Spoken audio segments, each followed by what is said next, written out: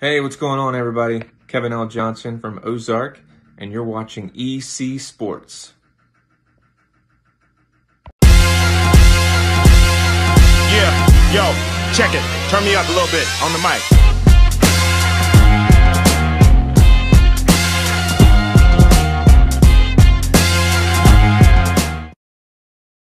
EC Sports episode.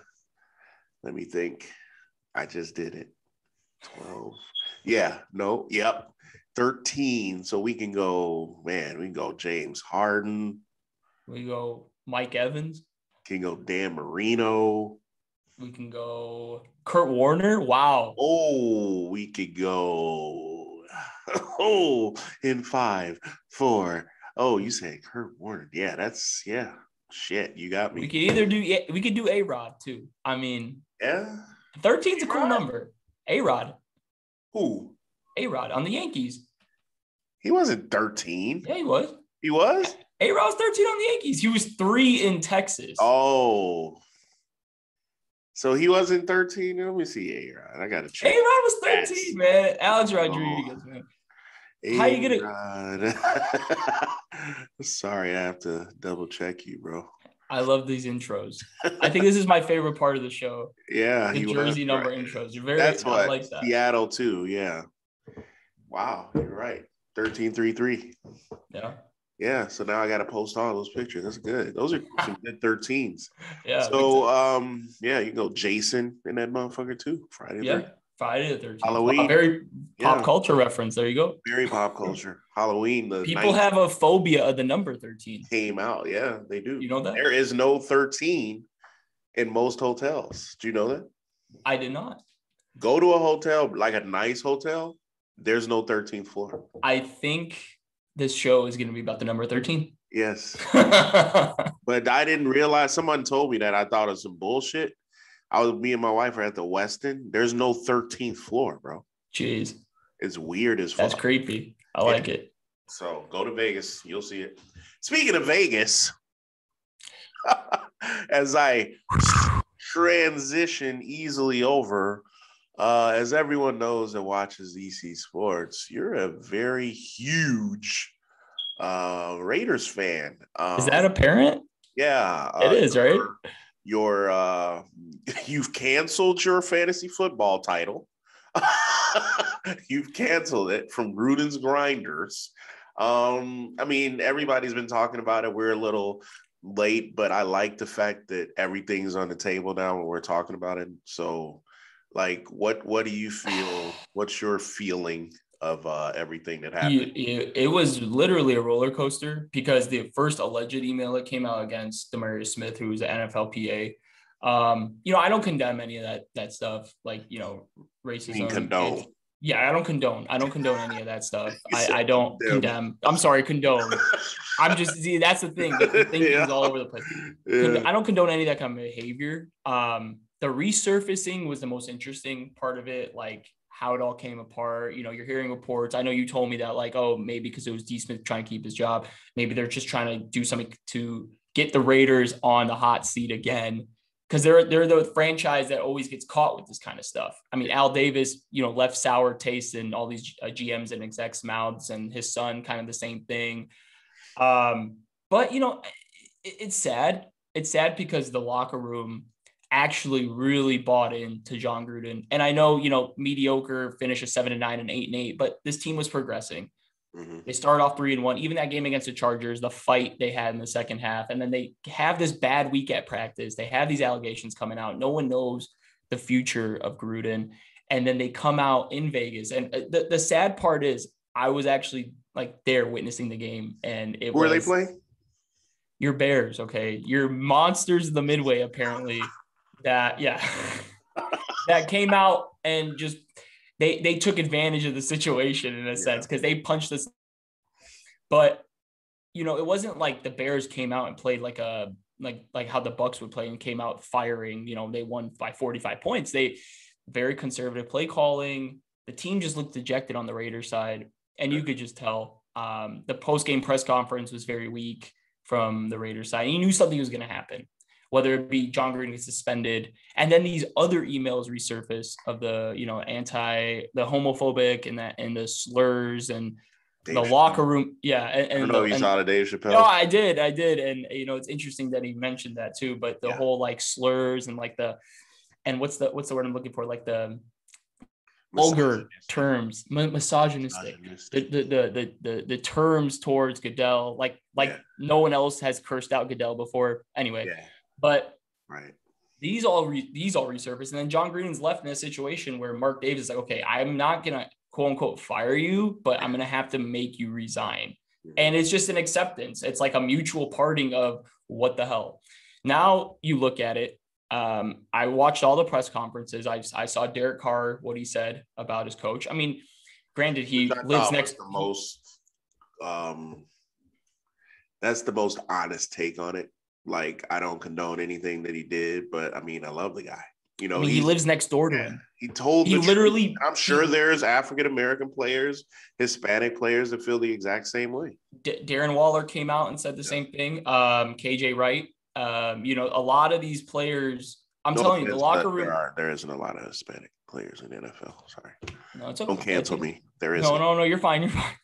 Um, but a lot of these players are rallying behind the coach because they've been with him for four years, and it's like you don't understand. Like all of a sudden, boom! It's like a it's a twist of fate, and he's out, and now Rich Bisaccia is in, who is a great. Honestly, Rich Bisaccia is, is taking this fully, and you know he's a great leader. I I don't know how much of a head coach he's going to be, what kind of play calling, but he trusts Greg Olson, Derek Carr, and all them to make the right decisions. But What's your uh take on like I've always thought about this. I've been in football forever.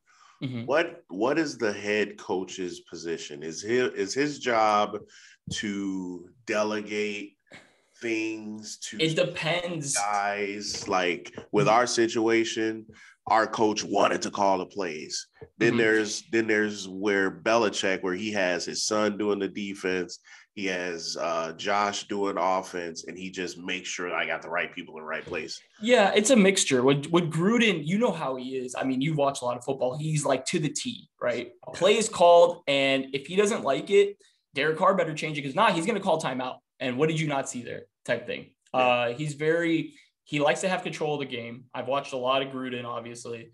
It's like Greg, Greg Olson, the offense calls 25% of the plays, 30% of the plays, but it's a relationship with Gruden and the QB. okay So if if if Carr doesn't see something he likes, now he has the trust. He had the trust of Gruden before he got canned or let go, that he can make the adjustment. As you see, he does all these pre-snap reads and audibles and changes and re and and and you know um and kills and all these kind of things. And but Gruden's role on the offensive side is more called. On the defensive side, he lets Gus Bradley do everything he wants. Mhm.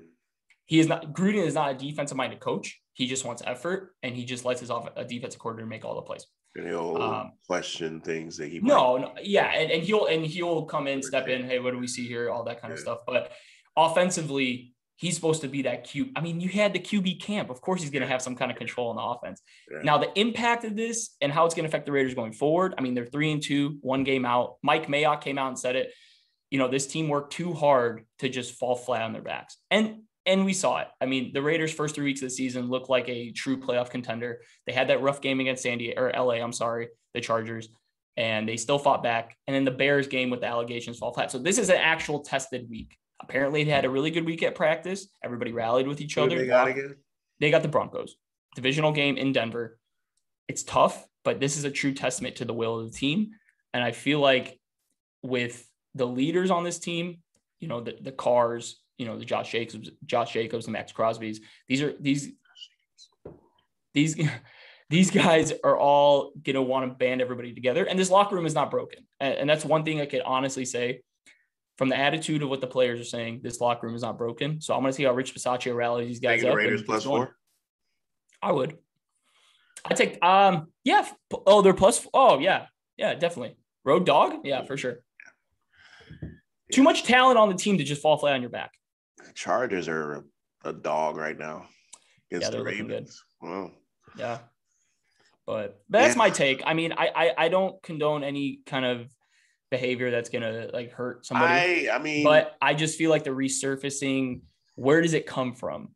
Yeah. That's what I want to know. Here, I mean, there's a lot of colleagues that I have that are uh, African American that I respect. That uh, Jason Goff, so to speak, he has a he has a podcast now on the Ringer. Um, congratulations to him. He went kind of hard on Gruden. Uh, so did Keyshawn Johnson. Um, sometimes I feel like guys kind of like kill someone and just bury them without looking at the whole concept and aspect of it. Um, when I first when I first initially heard like what he said about D Smith, like he said uh, something about Michelin tire lips. I'm not gonna lie, I laughed. He does have big ass lips, but do I look at race? I don't know. As opposed to if he said you black this or that, you know, like if I said Danny with his beard this way, am I being racist? You know what I'm saying? It's just, it's like how you take everything. Yeah. Like you said, how it just amazingly just resurfaces. I literally was reading ESPN. They had an article about Smith possibly on the outs. He has to get this many votes.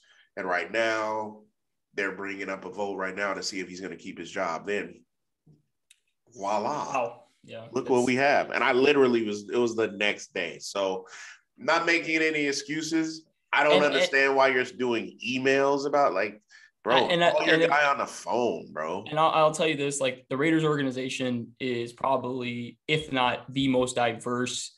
Uh, they appreciate diversity. They appreciate continuity, bringing people together, and unity. Uh, from Al Davis's mission back in the '60s all the way to now, um, I've never heard of the Raiders being a um, ra- like a, a quote unquote like racist organization. I never, I've never. People need of to that. understand the difference. But- bro. I'm not a I'm not a fucking I'm not a a, a, a, fucking guru at it, but racist and prejudiced are two different things. If I'm racist against someone, I can't I can't tolerate them, right? I don't want them on my team. I don't want to deal with them, right? Even if I'm a millionaire, if I'm racist, it's gonna come out. Sterling, that motherfucker was a racist, but he Yeah. didn't you know what I'm saying? He hit it well, but he told motherfucker like, bro, I don't want to fuck with you. Oh He yeah, yeah, I, I, He's like, uh, get away from me. You know what I'm saying? And people have to understand what prejudice and racist is. Um, again, he got caught. He- you know, he has to pay the consequences. It's just I hate when things come out like at specific times, and you know, it's just it's it's crazy. you know, at, at this point, it is what it is. Yeah.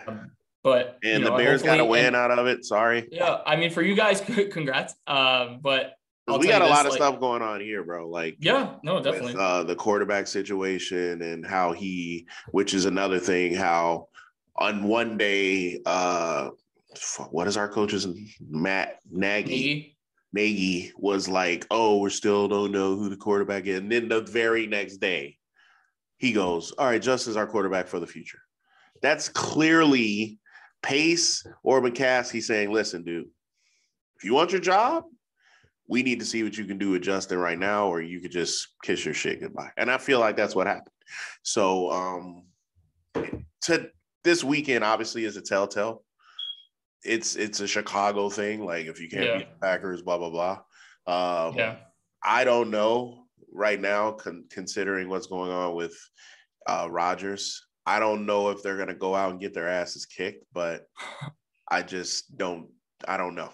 I'm not gonna put any money on it, but I mean, a- from what I saw, from what I saw on the play calling last week, yeah, the most conservative play, the most probably the most conservative game I've ever watched. I didn't see Fields drop back and throw a ball over 25.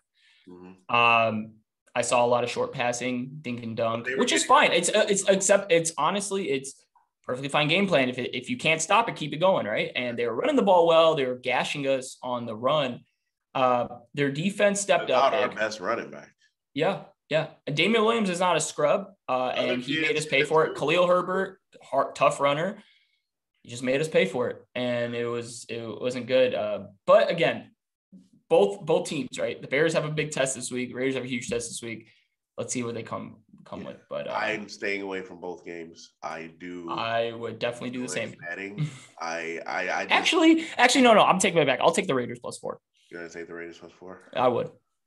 Denver, I just I don't know. Weird team. They got Teddy Teddy. Bridge. Right? Teddy's such a game He's- manager, bro. Yeah, he's up and down. I mean, like, Manages know, games though. Bro. but you but you'll see it like when the pressure gets on. Is he gonna be able to like? Is is he gonna run out of the pot? Like they got weapons in Denver. They really do. Um, Courtland Sutton. They got Tim Patrick. They got uh, who's the other receiver? They got KJ Hamler, and then they got their running game with Gordon and Williams. What's his name playing? Uh, Jared Jeudy's out. he's He's out. on right? IR. Yeah. Yeah.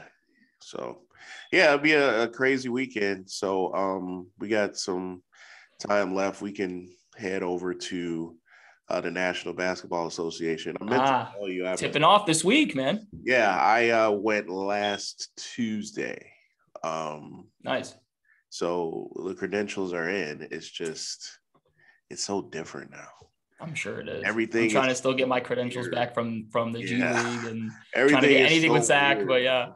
So they first told tell me like right now it can only be you, one person, and until we you know understand because I I get it, bro, like the protocols, but if this is how it's gonna be, like how long? Like are we gonna be COVID until we're like 50, 60 years old? I well Like- depends on if you if you want to you know Yeah, you know but like does does anyone want to get i mean our regular normal like our normal is we can't even go to the locker room bro. Like they have to come out to us.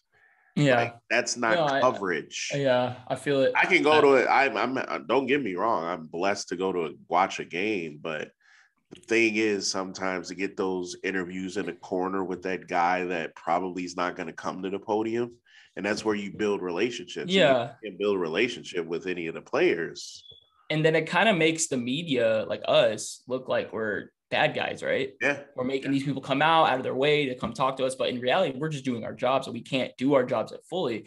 Now, with the whole vaccination protocols, I mean, I'm I'm like I'm fully vaxxed, all that kind of stuff. You know, say what you want, yeah, whatever. I got all the 5G in my veins, great. I don't care. Yeah. Uh, but um, here's the thing. bill burr did you see the bill burr take on it No, I got to though. he was like I want to be a mobile uh, hotspot at this point. they point. were yeah. like, uh, yeah, so what do you think about all of the people doing the vaccination? He's like, listen, man, if everything's bad's gonna happen to us, like, oh, what do we do?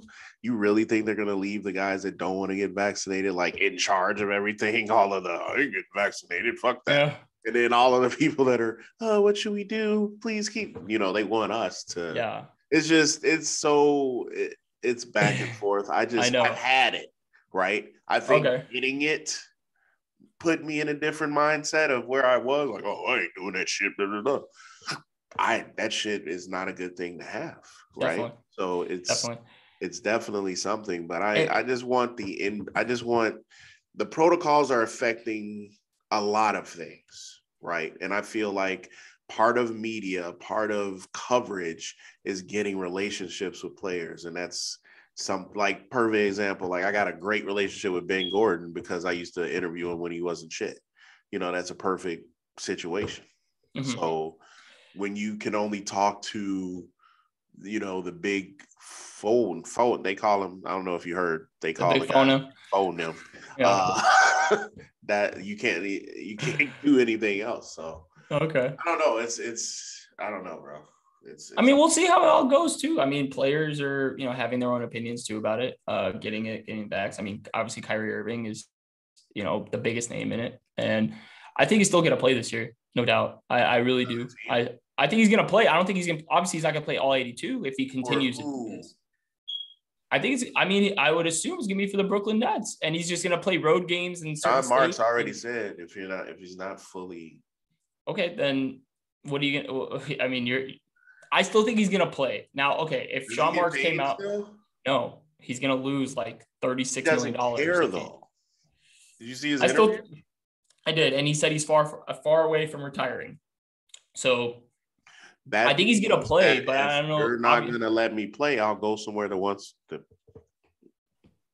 That's gonna respect my. put it this way: the Nets will be okay. They still have James Harden. They still have Kevin Durant. They still have a deep team. They drafted well. They had a good offseason. They'll be fine. The Mm, Kyrie thing, it kind of leaves you in a loophole. It's like, dude, you are extremely talented. You were probably one of the top 10 most talented players in the league.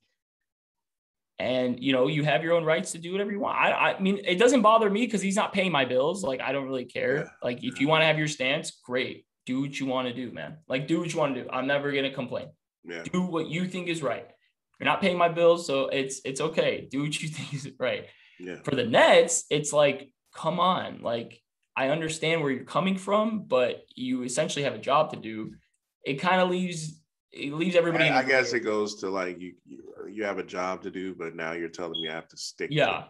Yes, exactly. It, it leaves everybody in a gray area. Yeah. That's the crazy part about it. That's the tough part about it. Like you have a job to do with your contract means Kyrie, we don't want you to ride motorcycles or we, you know what I'm saying? We don't want you to put yourself in danger. And danger. Yeah, That's different. Jason Williams is a perfect example of putting yourself in danger, exactly. Running into a tree. So Same thing with Ben Roethlisberger after his like second year in the league. three rapes. Is that what we're talking about? Well, that? no, no, no, I'm talking about the Oh, okay. Oh. Well, I mean, I mean, I'm not gonna, I'm not gonna get into that. I do not want to get into that, but yeah. Uh, jeez, that turned dark really fast, Dion. Jeez. hey, whoops, forgot. Um, sucks for Juju too. Like he got that sucks, bro. So um, you think this is the last year for that team? Steelers. Yeah. Yeah, they were done last year after they, no, they like- started losing. Oh, Like the team put together.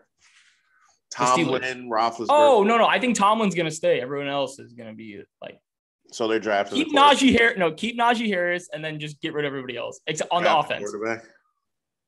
Yeah, Yeah. you kidding? me? Ben I don't know why Roethlisberger is like a in the first place. Ben Roethlisberger in the pocket is like a is like a snake is like a slug. He's just Yeah. like a big slug. Like he's not moving. Like you know how he used to be like stiff arming people and like throwing everybody away. And then throw, it's not like that anymore. They're,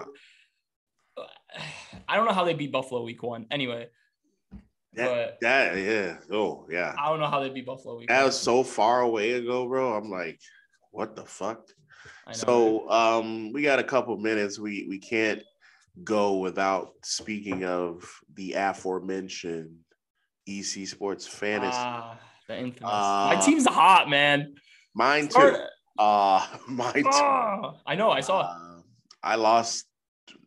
What's I have to ask now? What's your uh opinion on what happened to me in week three? Oh, the stat corrections. Yeah, but Bullshit. then there's no stat. It's bullshit. It is. It is. It's such bullshit. And Like I don't know. for a fact if it was anyone else, bro. Just your luck, right? Yeah, I took I took you know as a commissioner, you know what here, fuck it, but that's tough. But God, you're so PC. I love it. yeah, I yeah, yeah. So right now, um, my daughter's boyfriend is leading the league. Uh, El Mas Chingon, that's that's him. If you didn't know that, I, I beat him last week, so I hey yeah. hey I got you. Dion. You're his L. Thank you. Um, and then of course Anthony D'Amato on the other, he's there I'm creeping up. you right behind you and Dylan right behind him. Uh, and I'm two games back in mine. So what's your who's your team? Like, I mean, Dylan just handed you, I mean, he has Kyler Murray, so he didn't really hand you. You know what? he gave you I gave up James Robinson, Yes. who apparently is a top 12 fantasy back, which in, in the last few games he has been.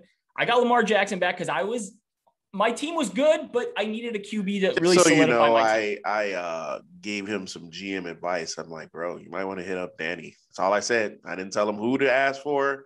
said Danny looks like he needs a quarterback, bro. I was rolling with Jalen Hurts, your boy. he might give up something you need, which is a running back. Because you know we made a good trade. I mean, I gotta wait a couple more weeks, but I got uh George got Kittle. Kittle. Is it George or Greg? George. George. All right, I was right. I, and I gave Melvin Gordon and uh DeVonta Smith uh, Yeah. something that he needed.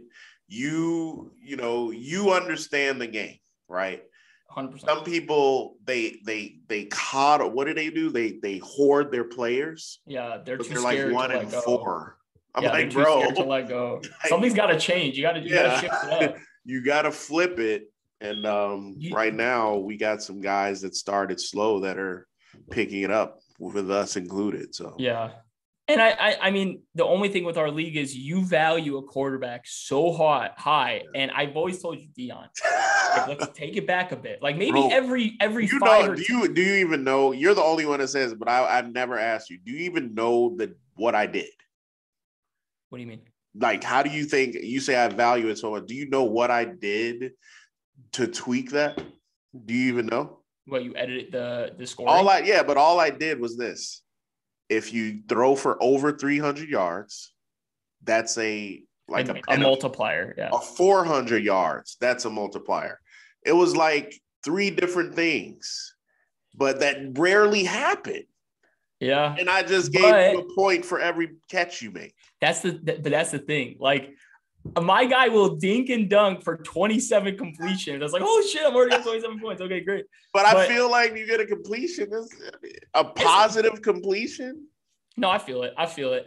i tried Lamar- to keep it in. Lamar now takes my team from a good team yeah to a championship contender. And and D and, and Dylan's team, he's got offensive firepower. Now he has the running back he has. I think it was a good trade. I you know what I mean? Like I got my guy, he got his. That's it. he has two running backs now with montgomery coming back so Yeah. um, everybody um, outside of uh, Devontae's Inferno, he should just leave it as Inferno. His Oh, only victory guy. is the one that I gave him. So eh, he's an Iowa Hawkeye, so I don't give a shit. Um, hilarious. He he having a lost good his college wife football in his other league. How do you lose your wife, bro? Like I don't care if you drafted the team. You know, it's. I mean, Lost he's having a good college football year. I can tell him that. we'll give him that. But um, I'm looking forward to see what happens. I mean, it's a long season, but having Justin Herbert and Ekeler as my horses, I'm not really worried right now. So, yeah, I mean that's it. I'm glad we uh, got back on the horse. We'll get back on soon for EC Sports, but um, I'm I'm looking forward to see what happens with all of this stuff. Next time Yeah, we'll talk about uh, Wilder and uh, Fury. I meant to get into them with you, but uh, that that What a slobber knocker, man. yeah, it was it was crazy. But uh, for uh, Danny, this is Dion EC Sports. We'll see you guys soon. We out.